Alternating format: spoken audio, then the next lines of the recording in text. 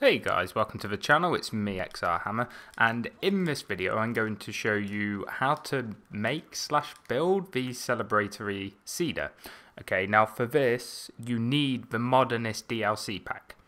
Okay, and you will also need the Ultimallet because you need to get a cedar sapling. Okay, and to get these, the easiest way to get these is to get an acorn and plant it on snow okay?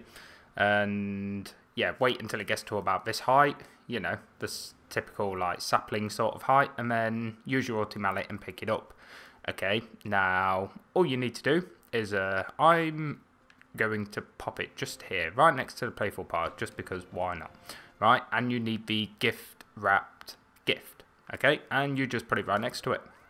And there we go. That is how to make the celebratory cedar. I really hope you all enjoyed it. If you did, be sure to leave a like and a comment down below. And I will see you all in the next one. Peace out, guys.